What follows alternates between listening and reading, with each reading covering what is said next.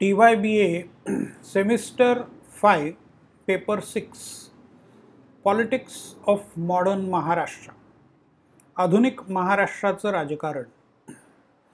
आज आपल्याला पाहायचं आहे की या पेपरमध्ये कोणत्या प्रकारचे ऑब्जेक्टिव्ह प्रश्न विचारले जाऊ शकतात. पहिला चॅप्टर तुमचा आहे त्याच्यामध्ये महाराष्ट्र या संकल्पनेचा उदय त्याच्यानंतर संयुक्त महाराष्ट्राची चळवळ आणि महाराष्ट्रातल्या राष्ट्रीय आणि समाज सुधारणेच्या चळवळी. मराठी भाषा याचा विकास पुष्कळ अगदी प्राचीन काळापासून झालेला दिसतो. ज्ञानेश्वरांनी ज्ञानेश्वरी लिहिली ती मराठीमधून. प्राकृतातून लिहिली असं म्हणतात. संस्कृत आणि प्राकृत असे दोन शब्द वापरले जातात. प्राकृत म्हणजे प्रादेशिक जी काही भाषा असेल ती. तर मराठी ही इथली प्रादेशिक भाषा.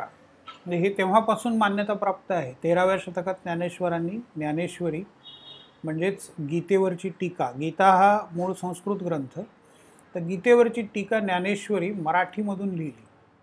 अर्थात ती जुनी मराठी आहे. त्यावेळची मराठी आपल्याला आज समजून घेण्यासाठी पुन्हा कष्ट घ्यावे लागतात. श्रवण बेळगोळ नावाचं कर्नाटकमध्ये छोटंसं गाव आहे. तिथे पर्वतावरती एक जैन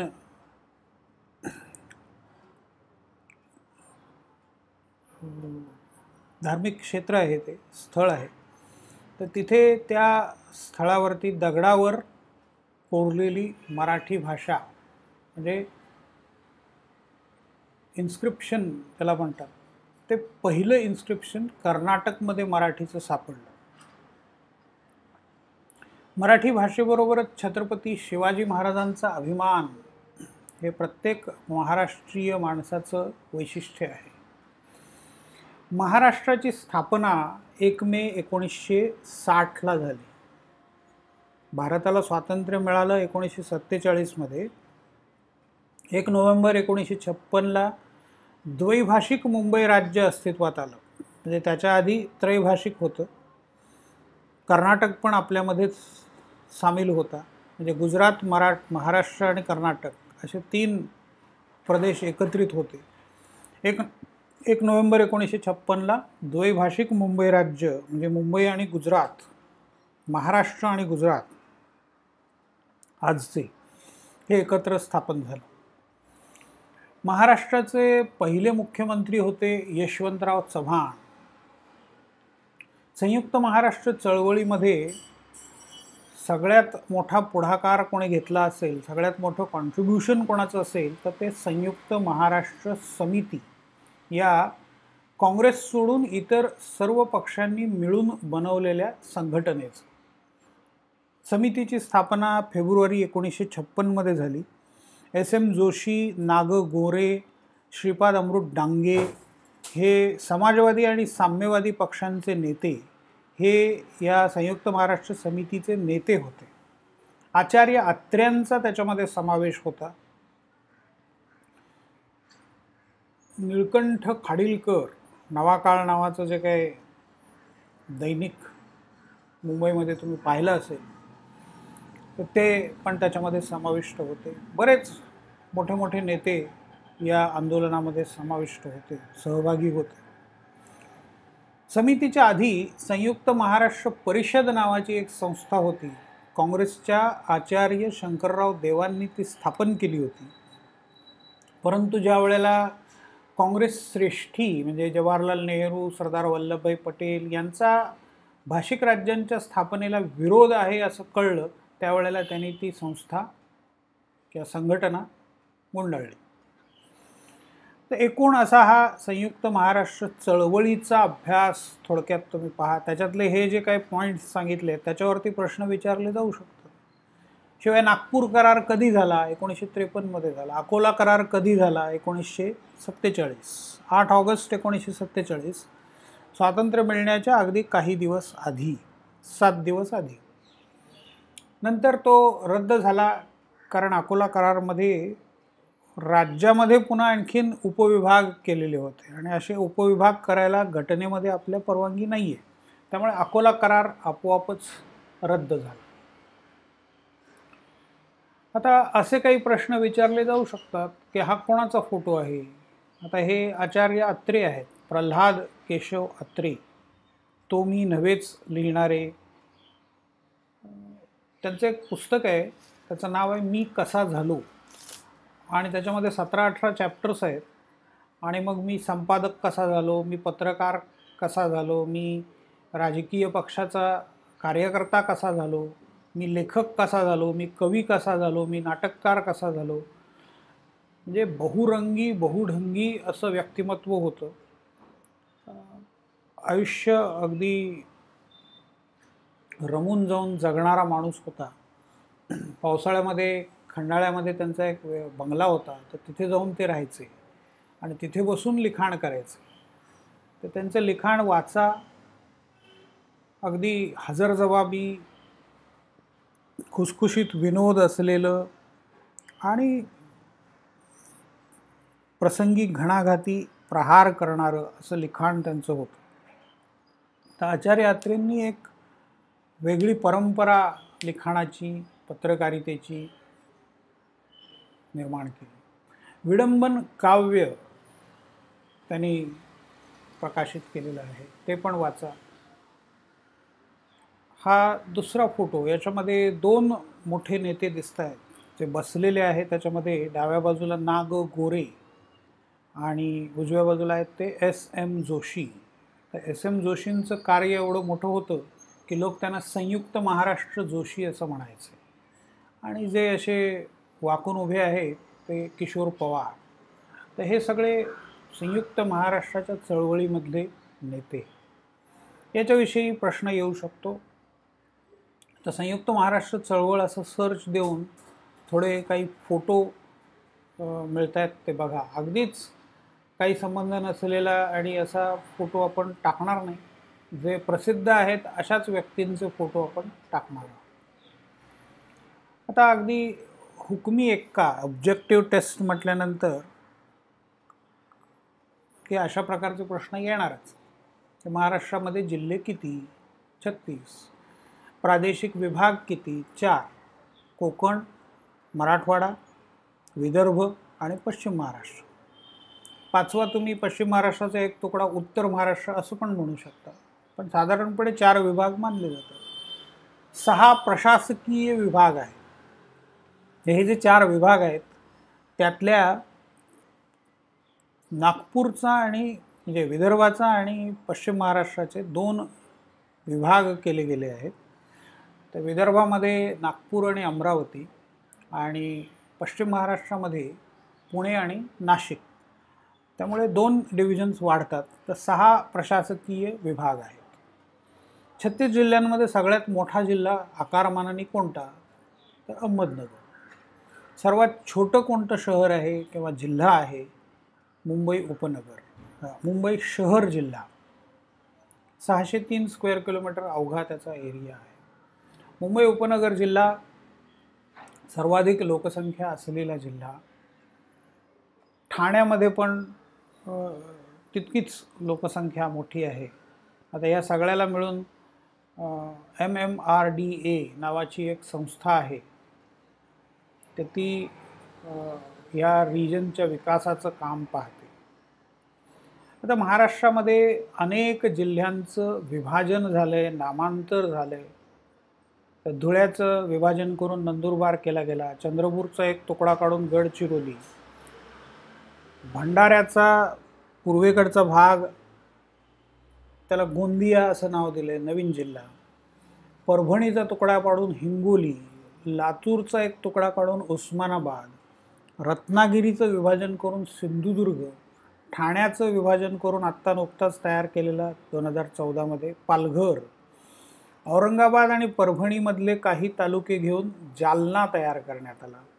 दक्षिण सातारा ह्या जिल्हा पूर्वी अस्तित्वात होता एकोणीसशे साठपर्यंत दक्षिण साताऱ्यामध्ये साताऱ्यामधले आजच्या साताऱ्यामधले म्हणजे काही तालुके आणि महाराष्ट्रातले काही तालुके असं म्हणा तुम्ही. आणि कर्नाटकमधले काही तालुके. तर या दोघांचं एकत्रीकरण करून म्हणजे कर्नाटकातले तालुके वजा झाले आणि उरलेले जे तालुके आहेत त्याचं दक्षिण साताऱ्याच्या ऐवजी सांगली असं नामांतर करण्यात आलं. मुंबई आणि मुंबई उपनगर जिल्हा. मुंबई जिल्हा जो होता त्याचं विभाजन करून उपनगर जिल्हा एकोणीसशे नव्वदपासून त्याची वेगळी कलेक्टरेट अस्तित्वात आलेली आहे. अकोला जिल्ह्याचा एक तुकडा काढून वाशिम जिल्हा तयार करण्यात आला आणि कुलाबा जिल्ह्याचं नामांतर अब्दुल रहमान अंतुले यांच्या कारकिर्दीमध्ये ते मुख्यमंत्री असताना रायगड असं करण्यात आलं. कारण या जिल्ह्यामध्ये रायगड किल्ला आहे आणि हा रायगड किल्ला शिवाजी महाराजांचं छत्रपती शिवाजी महाराजांची ती राजधानी होती. त्यामुळे त्या जिल्ह्याचं नाव रायगड करण्यात आलेलं आहे. म्हणजे माझ्या आठवणीमध्ये सहसा नामांतर केल्यानंतर नवीन नाव लोक स्वीकारत नाहीत. पण हे एक वेगळं असं नामांतर आहे. आता C S T. C S T आता नवे लोक म्हणायला लागले आहेत. बऱ्यापैकी रूढ झालं आहे. पण अजूनही बऱ्याच लोकांच्या तोंडी व्हिटी येतं. ते हळूहळू आता नामशेष होत जाईल. तसं कुलाबा हे नाव अगदीच संपूर्णपणे लोक विसरून गेलेले आहेत. म्हणजे त्याला वेळही भरपूर झाला आणि पाठ्यपुस्तकांमध्ये वर्तमानपत्रांमध्ये सगळीकडे तुम्हाला रायगड हे नाव दिसतं. त्यामुळे ते आता रूढ झालेलं दिसतं. महाराष्ट्रामध्ये अनेक संस्थानिक होते संस्थानं होती तर त्याच्यासंबंधी प्रश्न विचारले जाऊ शकतात. आपल्याकडे जोड्या लावा वगैरे प्रश्न नाही आहे किंवा त्या प्रश्नाची शक्यता नाही आहे आपल्याकडे युनिव्हर्सिटीने घालून दिलेल्या नियमाप्रमाणे फक्त मल्टिपल चॉईस क्वेश्चन्सच असतात. त्यामुळे नाहीतर इथे एक चांगला जोड्या लावाचा प्रश्न विचारता आला असतो. कोल्हापूर छत्रपती शाहू महाराज. सांगली म्हणजे पटवर्धन कुटुंब भोरचे राजे म्हणजे पंतप्रतिनिधी अक्कलकोटचं भोसले घराणं आणि जवाहरचं मुकणे कुटुंब. त्याच्यानंतर एक चॅप्टर आपला विधानसभा मुख्यमंत्री न्यायालय याच्या संबंधाने आहे. तर तुम्हाला विधानसभेची वयाची अट सदस्य संख्या वर्षातून अधिवेशनं किती होतात सदस्य किती वर्षासाठी निवडून दिले जातात? विधानसभेत ते पाच वर्षांसाठी तर विधान परिषदेमध्ये ते सहा वर्षांसाठी. विधान परिषद कधीही डिझॉल्व्ह होत नाही. दर दोन वर्षांनी एक तृतीयांश सभासद नव्याने नियुक्त केले जातात.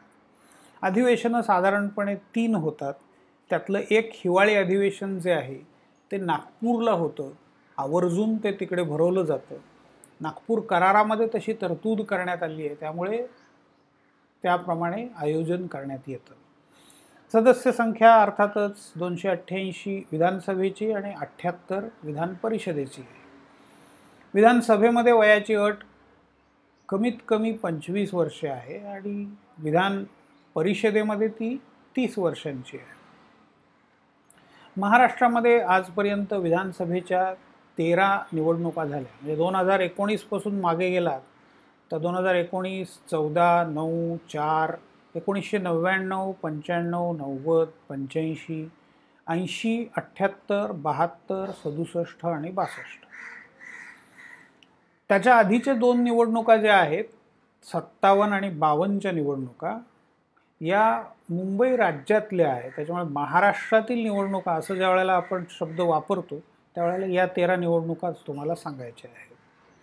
तर या तेरा निवडणुकांविषयी इथे मी सविस्तर माहिती दिली आहे. ही लिंक तुम्ही आधी पण पाहिली आहे. त्याच्यामध्ये कोणत्या वर्षी कोणत्या पक्षाला किती जागा मिळाल्या मग त्याचं ग्राफिकल प्रेझेंटेशन पण आहे.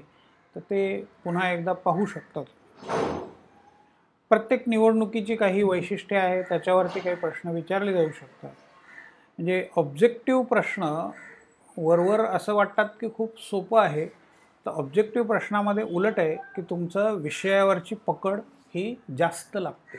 जेवढे खोलात तुम्हाला माहिती आहे आता एक तुमच्या दृष्टीने चांगली गोष्ट आहे की हा पहिलाच पेपर असल्यामुळे आपण फार खोलात जाणार नाही आहे कारण तुम्हालाही थोडासा अनुभव येणं गरजेचं आहे आणि एकदम अचानक खूप डिफिकल्टी लेवल घेऊन चालणार नाही. त्याच्यामुळे आपण डिफिकल्टी लेवल साधारणपणे मीडियम अशी ठेवणार आहोत. त्यात काही कठीण प्रश्न असतीलच युनिव्हर्सिटीच्या गायडन्सप्रमाणे गाईडलाईन्सप्रमाणे पण बऱ्यापैकी सोपं तुम्हाला होईल असं आपण बघणार आहोत. आता राष्ट्रीय आणि समाज सुधारणेची चळवळ याच्या संदर्भात पण प्रश्न विचारले जाऊ शकतात. आता तुम्ही शिक्षकाच्या पद्धतीने विचार करायला शिका. असं समजा की तुम्हाला प्रश्न काढायला सांगितले आहेत. वासुदेव बळवंत फडक्यांवरती प्रश्न विचारायचं म्हटलं की मग त्यांनी कोणाला घेऊन आंदोलन केलं? रामोशी समाजाला घेऊन त्यांनी मोठ्या प्रमाणावरती आंदोलन केलं. त्यांना तुरुंगात टाकलं होतं. मग शेवटी कुठल्या तुरुंगात टाकलं? तर ते एडनच्या तुरुंगात. मग एडन कुठे आहे? ते येमेनमध्ये आहे आजच्या. तर येमेनमधला जो भाग आहे तो मुंबई राज्याचाच भाग होता. त्यामुळे ब्रिटिश सरकारला त्यांना येमेनमध्ये टाकता आलं. म्हणजे येमेनचा संदर्भ एकदम काय आला तर तो रिलेशनशिप असा आहे.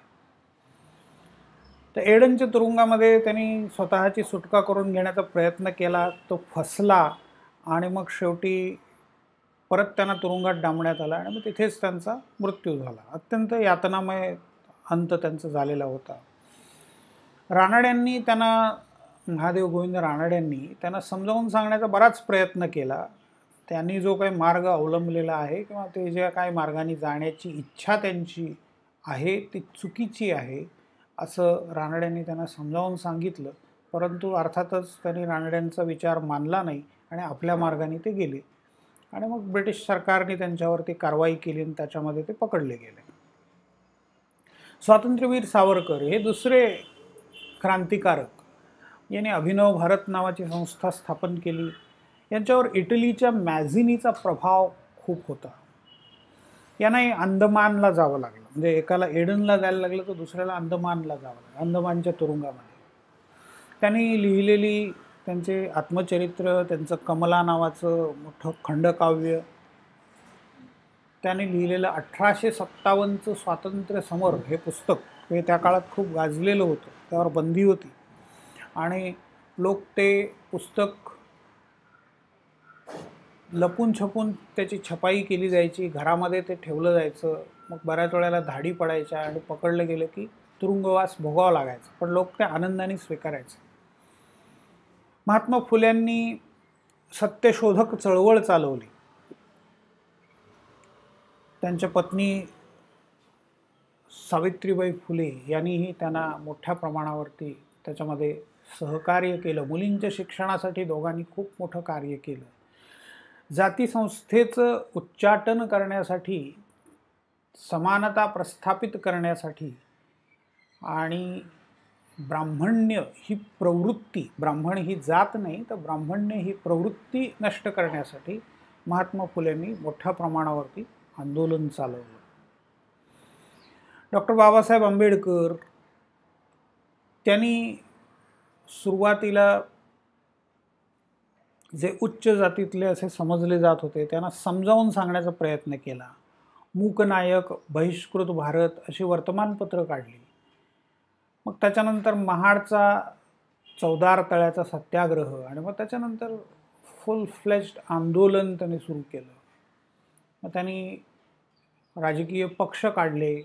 शेवटी रिपब्लिकन पक्ष स्थापन करावा अशी त्यांची इच्छा होती. पण त्यांच्या मृत्यूनंतर तो स्थापन झाला. त्याने शेवटच्या कालावधीमध्ये त्यांच्या आयुष्याच्या बौद्ध धर्मामध्ये प्रवेश केला. धर्मांतर केलं. त्याने त्याची घोषणा बरीच आधी केलेली होती की मी हिंदू म्हणून जन्माला आलो पण हिंदू म्हणून मरणार नाही हे निश्चित. महादेव गोविंद रानड्यांनी समाज सुधारणेच्या आपल्या कार्यामध्ये मोठा सहभाग दिलेला आहे. एक स्टॉलवर्ड म्हणजे कुठल्याही गटातटामध्ये नसलेले सर्वांना बरोबर घेऊन जाऊ इच्छिणारे अगदी महात्मा फुले आणि डॉक्टर बाबासाहेब आंबेडकर यांनी पण त्यांच्याबद्दल गौरव उद्गार काढलेले आहेत. मुंबईचे भाऊ दाजी लाड ते त्यांच्या नावाने म्युझियम आहे आपल्या कॉलेजच्या जवळ आहे. सध्या ते बंद असेल पण आपण जरूर त्याला जाऊन भेट द्या. सत्यशोधक चळवळीचं रूपांतर पुढे हळूहळू ब्राह्मणेतर चळवळीमध्ये झालं. केशवराव जेधे आणि दिनकरराव जवळकर हे त्याचे नेते. स्वातंत्र्य चळवळ संयुक्त महाराष्ट्र चळवळ या सर्वांच्या दरम्यान वर्तमानपत्रांनी मोठी भूमिका बजावलेली आहे. अनेक नेत्यांनी अनेक वर्तमानपत्र चालू केली. म्हणजे ऑब्जेक्टिव्ह प्रश्नांच्या दृष्टीने आपल्यासाठी ती मोठी खाण आहे. शतपत्रे लोकहितवादी. लोकहितवादी कोण होते? तर गोपाळ हरी देशमुख. आपल्या पेडर रोडला त्याचं नाव दिलेलं आहे. तर ही शतपत्र मी तुम्हाला त्याचा ऑडिओ लिंक्स पाठवल्या होत्या. ते जरूर ऐका. मुळातून सगळी पत्र वाचायला मिळाली तर ती वाचून काढा. तर त्यावेळच्या समाजाचं चित्रण तुम्हाला दिसतं. की काय काय पद्धती होत्या त्या कशा चुकीच्या होत्या त्या कशा बदलल्या पाहिजेत आणि मी निर्भीडपणे ते कसं मांडणार आहे हे सगळं गोपाळहरी देशमुखांनी सांगितलं. आता हे स्वतः सरकारी नोकरीमध्ये होते. म्हणजे जे दोन पंथ होते जहाल आणि मवाळ जहालांचं म्हणणं की आधी स्वातंत्र्य मग समाज सुधारणा. मवाळांचं म्हणणं आधी समाज सुधारणा मग आपोआप स्वातंत्र्य मिळेल. गोपाळ गणेश आगरकर मवाळांचे नेते. लिबरल उदारमतवादी. त्यांनी सुधारक हे वर्तमानपत्र काढलं. केसरीमध्ये पहिल्यांदा संपादक म्हणून काम केलं. पण मग टिळकांचं आणि त्यांचं पटेना त्यावेळेला त्यांनी स्वतःचं वेगळं वर्तमानपत्र सुरू केलं. त्यावेळेला दैनिक नसायची साप्ताहिक असायची. कारण ते पोहोचवण्यासाठी तेवढा काळ लागायचा. म्हणजे आजच्यासारख्या सगळ्या साधनं उपलब्ध नव्हती. संसूचनाची दळणवळणाची. त्यामुळे सगळं सावकाश चालायचं. प्रिंटिंग त्याच्यानंतर ते गावागावांमध्ये पोचणं. गावांमध्ये साक्षरता पण कमी होती. तर गावात एखादा पोस्टमास्तर किंवा एखादा शाळेचा शिक्षक एक शिक्षकीच शाळा असायच्या. झाडाखाली भरायच्या कधी कधी. इमारत पण नसायची. किंवा कुठेही देवळात भरायच्या. देवळात शाळा अजूनही महाराष्ट्रात तुम्हाला काही खेड्यांमध्ये दिसतील. तर या आणि एक शिक्षकी शाळा पण अजूनही दिसतील. तर या शाळांमध्ये केसरीचं वाचन व्हायचं. गावकरी एकत्र यायचे जमायचे ऐकायचे आणि मग आपल्या प्रतिक्रिया द्यायचे. तर अशी ही वर्तमानपत्र होती. दीनबंधू ब्राह्मणेतर चळवळीचं प्रतिनिधित्व करणारं हे वर्तमानपत्र. त्याच्यानंतर सुरुवात केली ती बाळशास्त्री जांभेकरांनी दर्पणपासून. आणि मगाशी उल्लेख केला ते मूकनायक आणि बहिष्कृत भारत हे डॉक्टर बाबासाहेब आंबेडकरांनी स्थापन केलेली ही वर्तमानपत्र बॉम्बे हायकोर्ट मुंबई आणि गोवा या दोन राज्यांसाठी हे उच्च न्यायालय आहे. आधी गोवा दीव दमण असं सगळं एकत्रित होतं आणि दादरा नगर हवेली या सगळ्यांसाठी ते हायकोर्ट होतं. आता अर्थात दीव दमण आणि दादरा नगर हवेली भौगोलिकदृष्ट्या लांब आहेत. त्यामुळे त्याचा गुजरातशी जास्त संबंध येतो. तर बॉम्बे हायकोर्ट त्याचं नाव अजूनही तसंच ठेवलेलं आहे. मुंबई केलेलं नाही आहे म्हणून मी तोच शब्द वापरला आहे तर मुंबई आणि गोवा या राज्यांसाठी हे बॉम्बे हायकोर्ट आणि त्याचे तीन बेंचेस आहेत. तीन खंडपीठं आहेत. औरंगाबाद नागपूर आणि पणजी. जात आणि राजकारण याच्या संबंधाने काही सिद्धांत आपण पाहिलेले होते. त्यात प्रभुत्वशालीचा प्रभुत्वशाली जातीचा सिद्धांत एम एन श्रीनिवास जातीच्या राजकीकरणाचा सिद्धांत रजनी कोठारी. आता वंचित बहुजन आघाडी कधी स्थापन झाली कुणी स्थापन केली? दलित पॅन्थर कधी स्थापन झालं? कुणी स्थापन केलं? त्याच्यामध्ये मोठ्या प्रमाणावर कार्य कुणी केलं? प्रकाश आंबेडकर नामदेव ढसाळ रामदास आठवले वेगवेगळी नावं समोर येतात. योग्य उत्तर तुम्हाला शोधायचं आहे. शोध घेणं तसं तुलनेने सोपं आहे आता. नेटवरती जाऊन सर्च द्यायचं आहे. सर्च दिल्यानंतर अर्थातच जी माहिती येते ती जशी तशी स्वीकारायची नाही त्याला काउंटर चेक लावावा लागतो चेकिंग करावं लागतं. म्हणजे मी एक सर्च दिला की महाराष्ट्रातील सर्वात छोटा जिल्हा. तर एक उत्तर मला आलं हिंगोली. पण ते आणखीन खोदून जाऊन पाहिलं त्यावेळेला महाराष्ट्रातल्या या चार जिल्ह्यांपैकी सर्वात छोटा जिल्हा कोणता? अशा प्रश्नाचं उत्तर देताना त्यांनी हिंगोली असं म्हटलं होतं. तर नेट सर्चमध्ये मला हिंगोली दिसलं. पण साधारणपणे अंदाजाने आपल्याला माहिती असतं त्यामुळे माझा विश्वास बसे ना त्यामुळे मी आणखीन खोलात जाऊन प्रत्येकाचे स्क्वेअर किलोमीटर्स मिळत आहेत का महाराष्ट्रातल्या जिल्ह्यांचे ते शोधले. आणि मग तिथे स्पष्ट झालं की मुंबई जिल्हा हा आकारमानाने सगळ्यात छोटा जिल्हा आहे. मुंबई जिल्हा आणि मुंबई उपनगर जिल्हा या हे दोन महाराष्ट्रातले नागरी जिल्हे आहेत. म्हणजे तिथे ग्रामीण भागच नाही आहे तिथे शेतीच नाही आहे त्यामुळे तिथे जिल्हा परिषदा नाही आहे मुंबई जिल्ह्यामध्ये तरीसुद्धा तालुके आहेत. अंधेरी मुंबई उपनगर जिल्ह्यामध्ये मुंबई जिल्ह्यात नाही. तर मुंबई उपनगर जिल्ह्यामध्ये तीन तालुके आहेत अंधेरी बोरिवली आणि कुर्ला. पण ग्रामीण भाग इथे नाही आहे या प्रेझेंटेशनमध्ये आणखीन एक भाग राहिला तो म्हणजे मुख्यमंत्र्यांसंबंधाने. म्हणजे त्याच्या संबंधाने स्लाईड तुम्हाला दिसली नसेल पण मुख्यमंत्र्यांची कारकीर्द. आता सर्वात मोठी कारकीर्द कोणाची होती? यशवंतराव चव्हाण हे पहिले मुख्यमंत्री होते. त्याचा उल्लेख केला मगाशी आपण. पण वसंतराव नाईकांची कारकीर्द जवळपास अकरा वर्षांची एकोणीसशे चौसष्ट ते एकोणीसशे पंच्याहत्तर ही सगळ्यात मोठी कारकीर्द होती. दोन वेळा पक्षश्रेष्ठींनी नियुक्त केलेले मुख्यमंत्री. शंकरराव चव्हाण एकोणीसशे पंच्याहत्तर ते सत्याहत्तर आणीबाणीच्या काळामध्ये पहिल्यांदा इंदिरा गांधींनी त्यांची नेमणूक केली. आणि मग नंतर एकोणीसशे शहाऐंशी ते अठ्ठ्याऐंशी या कालावधीमध्ये राजीव गांधींनी त्यांची नियुक्ती केली. म्हणजे महाराष्ट्रासंबंधी काँग्रेस श्रेष्ठींचं राजकारण एक ठराविक फॉर्म्युल्याने जातं असं लक्षात येतं. एक ठराविक साचा त्याच्यामध्ये असलेला दिसून येतो. स्थानिक नेत्यांना किंवा स्थानिक नेतृत्वाला पुढे येऊ न देणं. आता यदी फडके हे महान इतिहासकार आणि राज्यशास्त्राचे अभ्यासक संशोधक तर त्यांनी हा मुद्दा मांडला. त्यांना पण हे जाणवलं. सगळी कागदपत्र धुंडाळताना आणि सगळा अभ्यास करताना की महात्मा गांधींपासून मराठी नेत्यांच्याबद्दल काँग्रेस श्रेष्ठींनी एक विशिष्ट असं धोरण अवलंबलेलं आहे.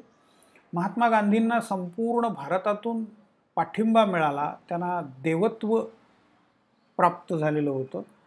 पण फक्त महाराष्ट्रातून त्यांचा प्रखर विरोध त्यांना झाला. टिंगलटवाळी झाली. न ची केळकर असतील किंवा टिळकपंथीय लोकांनी त्यांची मोठ्या प्रमाणात चेष्टा केली. आणि हे सगळे नुसते महाराष्ट्राचे नाही तर भारतीय पातळीवरचे नेते होते. त्यामुळे महात्मा गांधींनी काळजीपूर्वक त्याला खड्यासारखं वेचून टाकणं असं म्हणतात. तर काळजीपूर्वक मराठी माणूस पुढे आला की त्याला बाजूला करणं. मग ते आचार्य शंकरराव देव असतील यशवंतराव चव्हाण असतील किंवा अगदी अलीकडच्या काळामध्ये शरद पवार असतील. तर इथे आपली ही समरी पूर्ण झाली. या समरीच्या आधाराने मला खात्री आहे की तुम्ही शंभरपैकी शंभर मार्क मिळवू शकाल. ऑल द बेस्ट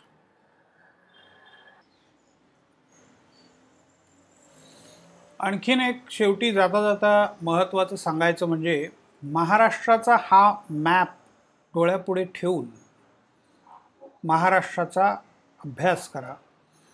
जे जिल्ह्यांचं विभाजन जिल्ह्यांचं नामांतर हे जे काही मी तुम्हाला सांगितलं तुम्ही मॅपवरती पाहिलं तर चंद्रपूर आणि गडचिरोली भंडारा आणि गोंदिया. तर चंद्रपूर आणि भंडारा हे आधी जिल्हे होते. त्यांचं विभाजन करून भंडाऱ्याचं विभाजन करून गोंदिया आणि चंद्रपूरचं विभाजन करून गडचिरोली. म्हणजे ही माहिती तुम्हाला अशी बोजड वाटणार नाही पाठांतर करावं लागणार नाही आणि आपोआप गोष्टी लक्षात येतील. नॅचरल आहे धुळ्याचं विभाजन करून नंदुरबार किंवा ठाण्याचं विभाजन करून पालघर तयार केला. रत्नागिरी ह्या मोठ्या जिल्ह्याचं विभाजन करून सिंधुदुर्ग तयार केला. कुलाब्याचं नामांतर रायगड केलं. तर या सगळ्या गोष्टी सहज तुमच्या लक्षात येतील. या परभणीचं विभाजन करून हिंगोली लातूरचं विभाजन करून उस्मानाबाद औरंगाबाद आणि परभणी यातले काही तालुके मिळून जालना हा मधलाच जिल्हा तयार करण्यात आला. तर हे सगळं आपोआप तुमच्या लक्षात येईल. अकोल्याचा एक तुकडा म्हणजे वाशिम.